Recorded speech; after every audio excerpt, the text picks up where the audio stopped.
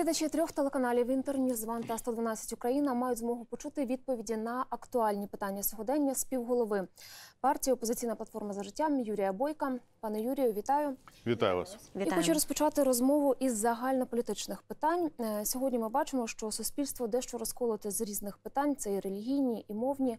Е, На вашу думку, як вийти на позиції примирення та об'єднання? Ну, перш за все, треба прибрати з порядку денного всі питання, які дійсно роз'єднують суспільство. На кшталт там, мовного закону, закону про освіту, питання церкви. І як тільки вони прибираються, як тільки об'єднуючі закони з'являються, а головний об'єднуючий е, сьогодні мотив це мотив до миру, то суспільство відразу ж починає об'єднуватись, і всі ці речі, які розділяють країну, вони завершуються. Тому головне, щоб виносились питання, ті, які об'єднують людей. Мир, питання миру це національна ідея, питання е, зменшення драконівських тарифів, питання боротьби з корупцією, тобто все те, що люди ставлять на перше місце, коли їх питають, що потрібно зробити в державі. За даними опитування КМІС, ви займаєте перше місце серед потенційних прем'єр-міністрів. Чи готові ви зайняти цю посаду? За яких умов і як здолати ту ситуацію, яка зараз склалася? Давайте почнемо з останнього. Ситуація, яка склалася, вона накопичувалась не один рік, всі п'ять років, крок за кроком. Влада, яка відходить, вона вела суспільство до тотальної бідності.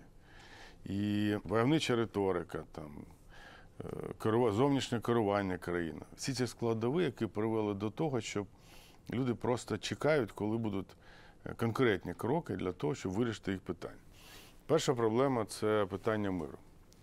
Е, Звичайно, що це потрібен компроміс, що питання миру і завершення конфлікту дуже складне, але треба чесно сказати людям, що крок за кроком, політичними речами буде завершена війна.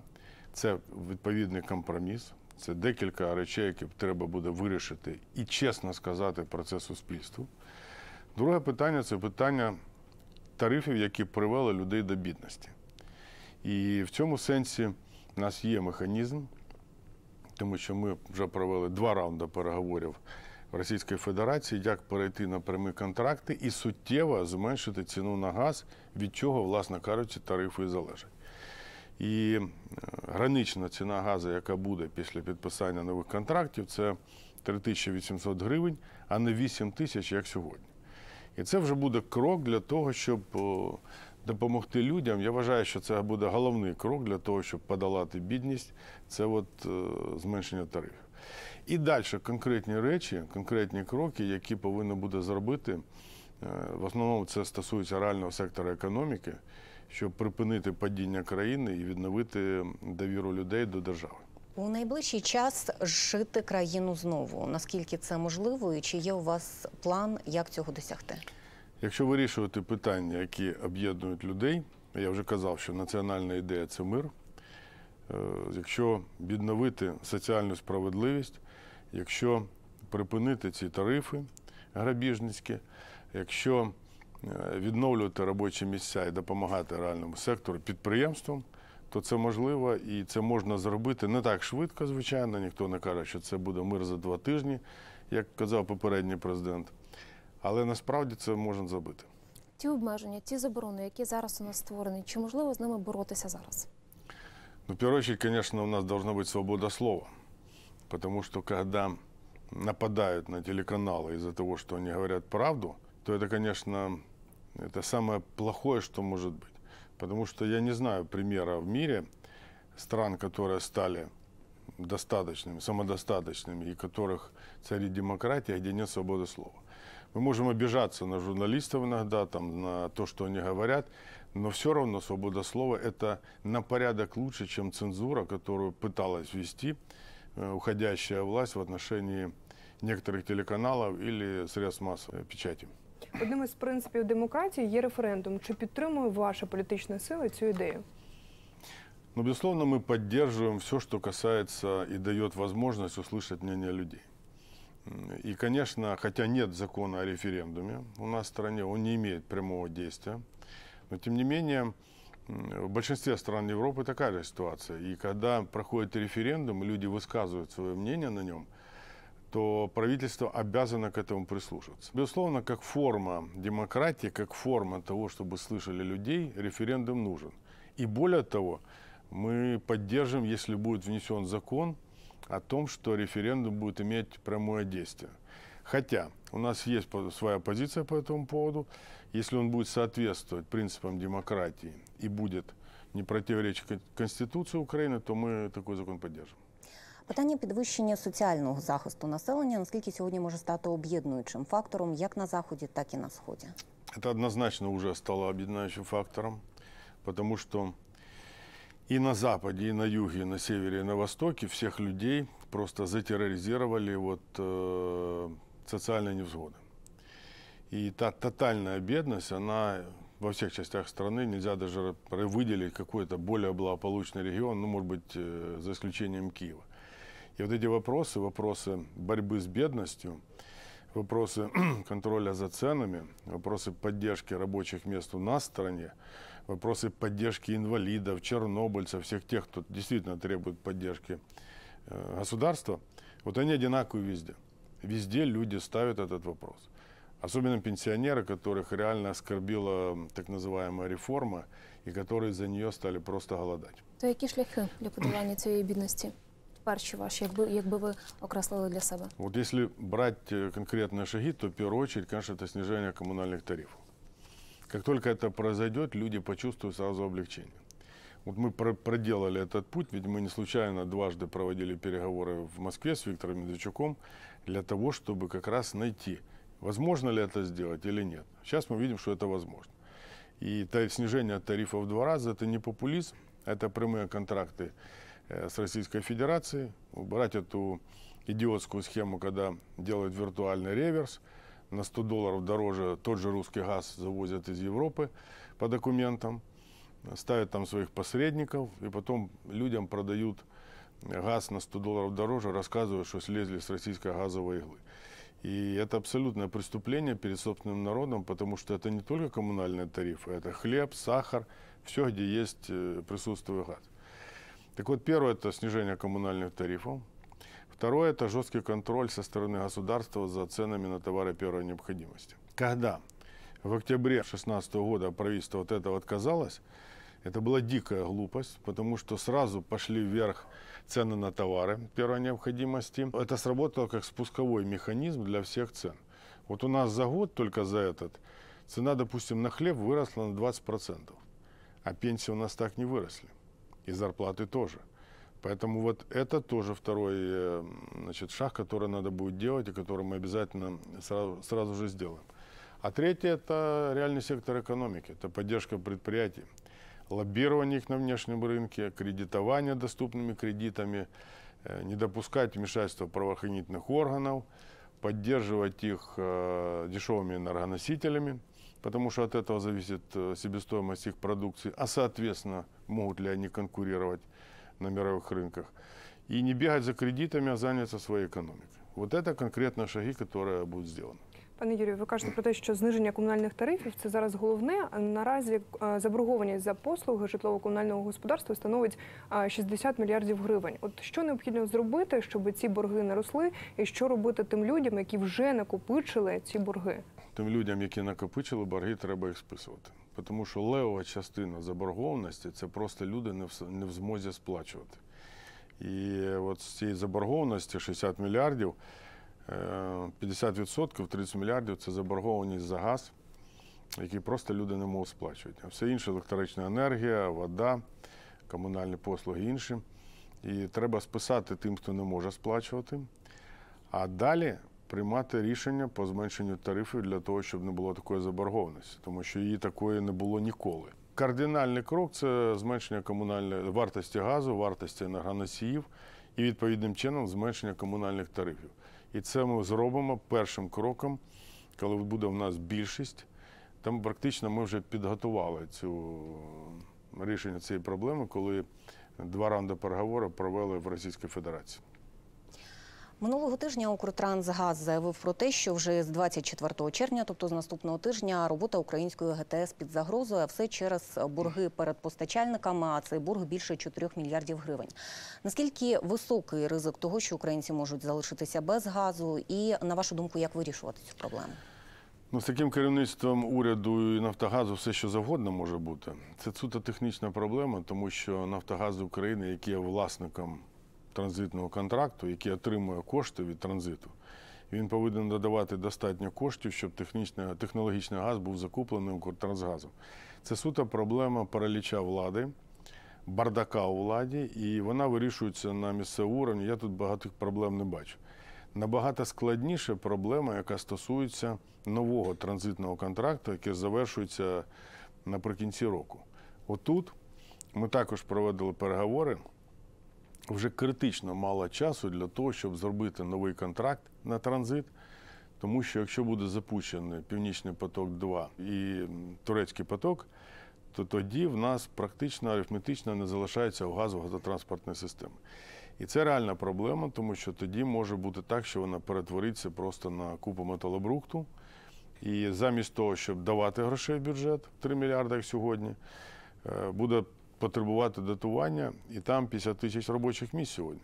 Тобто це реальна проблема, яку потрібно вирішувати. І ми також проводили переговори і бачимо, яким чином вона може бути вирішена. Від чого залежить, що Російська Федерація може підписати новий контракт? Є розуміння, що повинно бути відновлене партнерство, в тому числі в газовій галузі. Є розуміння, що повинно бути відкриті російські ринки для наших товарів, тому що ми сьогодні продаємо в Росію товарів на 4,5 мільярда доларів, а закуповуємо в Росії на 7,5 мільярдів. Тобто у нас від'ємне торговельне сальдо. Ми 3 мільярда доларів зі своєї економіки віддаємо в Російську Федерацію. При тому, що правляча, залишки правлячої більшості, більшості кричать, що Росія агресор, таке інше. І я просто питаю: ну якщо ви так ставите питання, то як мінімум зробіть умови, що ми більше отримали грошей, ніж давали в Росію. Це корисно буде для нашої економіки, це дасть можливість її підтримати. Тому це розуміння, що пот- потрібно відновлювати партнерство. І я вважаю, що це дуже добре, тому що партнерство це і газ, і транзит, і російський ринок для наших товарів. На вашу думку, який ринок електроенергії Україні потрібен? Е, Коли буде Україна технічно готова до запровадження електроенергії? Якщо це станеться, чи буде можливість у населення і підприємств обирати собі постачальників? І от найголовніше, чому Україна не пішла, наприклад, шляхом тієї ж Франції, де дешеву електроенергію із АЕС за собівартістю продають населенню? А ми фактично е, електроенергію із АЕС експортуємо. Ну, действительно, э, мы не готовы к рынку электрической энергии, потому что есть монополизм в тепловых станциях. И э, реально э, сегодня, если его ввести, то это будет увеличение стоимости электроэнергии, и люди просто этого уже не выдерживают. А у нас есть модель, которая позволит действительно уменьшить стоимость электроэнергии. Она в том числе связана с удешевлением угля и газа. И я абсолютно четко вижу, как сейчас снизить стоимость электроэнергии, а не наоборот повышать ее, как предлагают э, создатели так называемого рынка. Это очень такой комплексный вопрос, который надо рассматривать на уровне всех специалистов, которые и в атомной энергетике работают, и в тепловой. Но мы это делали, и у нас не было такого безобразия, когда при относительно дешевой атомной энергии э, у нас население получает ее практически по ценам европейским, при том, что у нас э, атомная энергия, 58% добывается энергии из атома, она значительно дешевле. Это безобразие, это паралич власти, это называй как угодно, но то, что это придется менять, это однозначно. Медична реформа. Ви е, довгий час були критиком нових правил. Чи зараз ви залишаєтесь противником? І е, які зміни в медичній галузі, на вашу думку, потрібні? Ну, перш за все, я вважаю, що у нас ніякої медичної реформи не сталося.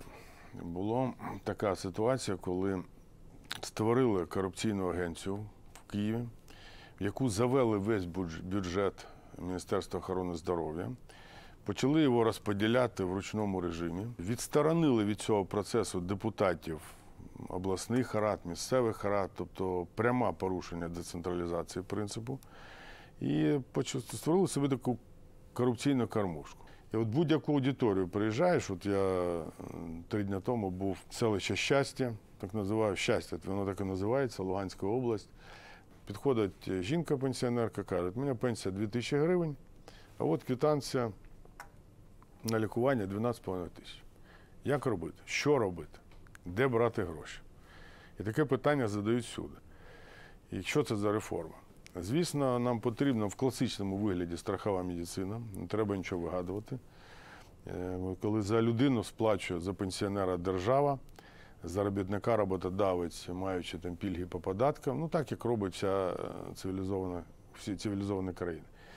І далі треба дійсно збільшити зарплатню лікарям. За 5 років виїхало близько 70 тисяч лікарів. Останні виїжджали минулого року, тому що не мали достойної зарплати. Тому реформа буде змінена, і всі ці люди, які її протягували, вони будуть замінені на своїх постах, тому що вони накоїли багато біди для людей. Пане Юрію, останні роки спостерігалося зменшення виплат та пільг. Що необхідно зробити, щоб вирішити це? Во-первых, действительно произошла дикая ситуация, когда э, в декабре 2014 года одним махом парламент, тогда еще это была большая коалиция, принял закон и лишил пильг всех. И чернобыльцев, и ветеранов, инвалидов. Вот они посчитали, что так будет легче для бюджета. При этом через несколько дней принимается бюджет, выплаты увеличиваются всем силовикам.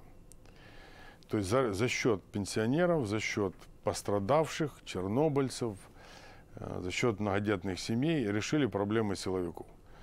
И, конечно, ну, естественно, мы за это не голосовали, но вот те, кто голосовал, 5 лет каждый год за счет пенсионеров и малоимущих увеличили выплаты силовикам.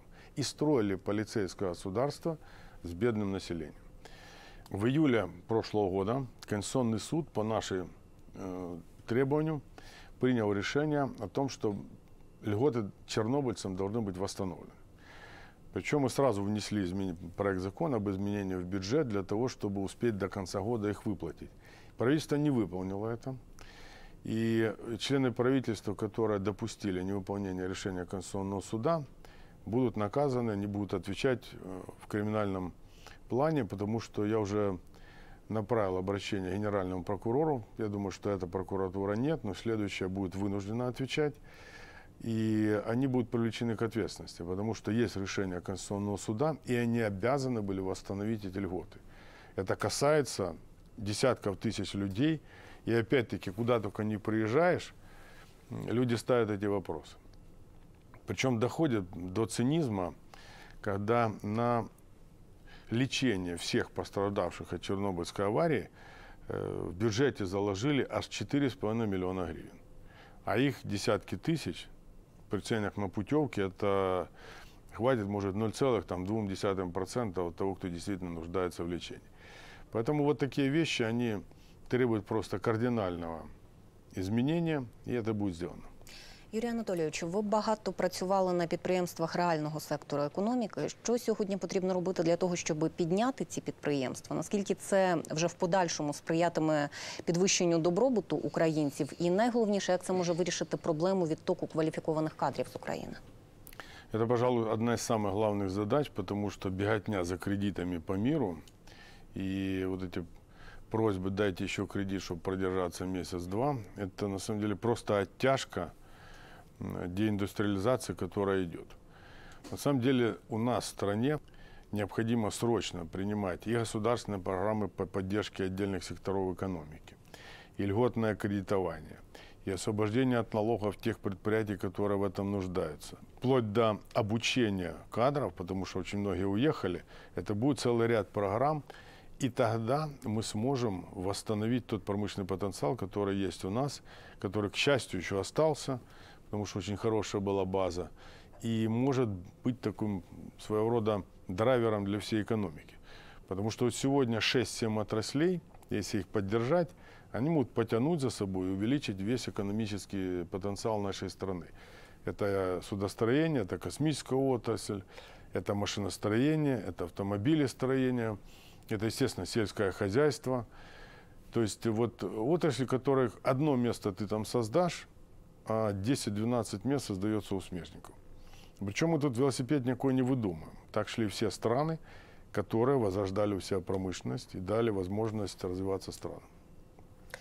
Парламентські вибори зараз вони активно йдуть по країні. Ми бачимо настрої суспільства. е, Люди хочуть зі змін. Е, На вашу думку, чи здатна ця парламентська кампанія виправдати ті надії, ті очікування, які сьогодні є у людей?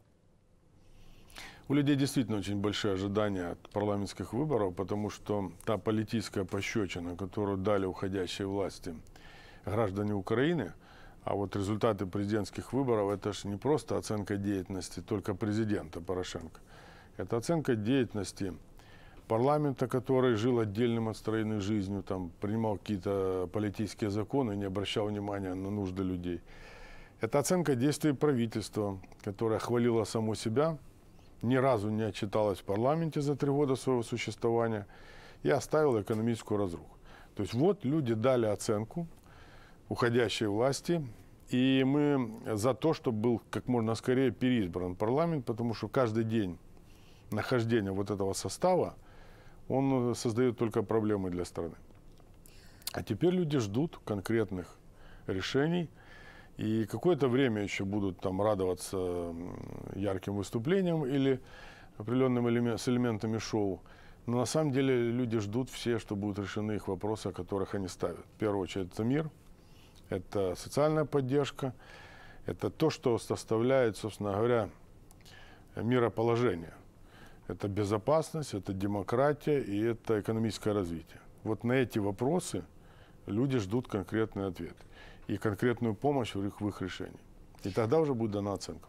Триває зараз е, парламентська кампанія. Ми зі свого боку спостерігаємо за цими об'єднавчими, роз'єднавчими процесами, і так само за пропозиціями, які лунають від тих чи інших політиків. Олександр Вілкул нещодавно висунув е, до опозиційної платформи за життя пропозицію узгоджувати кандидатів на місцях для того, щоб дві політичні сили між собою не конкурували. Як ви ставитеся до такої ідеї? Да мы на самом деле были с самого начала за объединение. И тот э, раскол, который был внесен бизнес-частью оппозиционного блока, он и привел к тому, что единый кандидат от Юго-Востока не попал во второй тур. Хотя даже арифметически сложить мои показатели и показатели Вилкула, э, 12 почти процентов у меня и больше 4 у него, то мы по- попадал, я бы попал во второй тур. И тогда это была бы совсем другая ситуация. Но получилось то, что получилось. Э, Бизнес-крыло оппозиционного блока договорились с бывшим президентом и проводили эту политику раскола. А сегодня мы за любое объединение. Единственное, мы категорически против участия в бизнеса в идеологических процессах. Потому что если только появляется бизнес, уже идеологии не будет. А мы поняли и мы знаем, что наши люди поддерживают нас, потому что мы иде- идеологию отстаиваем. Идеологию защиты русского языка, идеологию восстановления отношений с Российской Федерацией, при- остановки войны, идеологию восстановления промышленности отечественной, а не внешнего управления страной. То есть эти вещи, если они разделяются теми, кто может быть нашими партнерами, то мы за. Но мы категорически не приемлем, когда бизнес вмешивается в политику. Мы уже увидели, к чему это приводит. Это привело к тому, что страна очень серьезно потеряла за последние пять лет. За даними опитування КМІС, п'ять політичних партій проходять до Верховної Ради. От е, все ж таки, чи готова партія опозиційна платформа за життя увійти в коаліцію з президентською партією Слуга народу? Якщо так, то за яких умов? Мы вообще не ставим вопрос о коалиции сейчас. Если м, есть политическая сила в парламенте, которая видит урегулирование конфликта на Востоке политическим путем, составляющими, связанными с особым статусом Донбасса, э, с законом об амнистии, с вещами, которые принципиальны и прописаны в Минских соглашениях, то мы партнеры. Если эта сила будет э, снижать тарифы, стараться навести порядок в экономике, поддержать предприятия, то мы тоже партнеры. И для нас не является там приоритетом поиск каких-то там должностей. Мы уже пять лет прожили в оппозиции. Мы боролись с тем режимом, который уходит, видя, что он принес беду стране. И на самом деле это нам главное, чтобы были соблюдены принципы, которые дороги тем людям, которые нас отправили в парламент. Поэтому для нас это главное. Дякуємо, що знайшли Спасибо вам. час для відповіді. Час інтерв'ю добігає кінця. Дякуємо. Дякую. Спасибо вам. Дякуємо.